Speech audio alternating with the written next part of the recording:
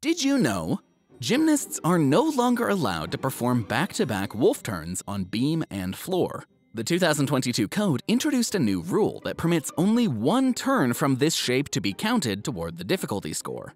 Even if athletes perform more than one, only the first will be recognized by the judges.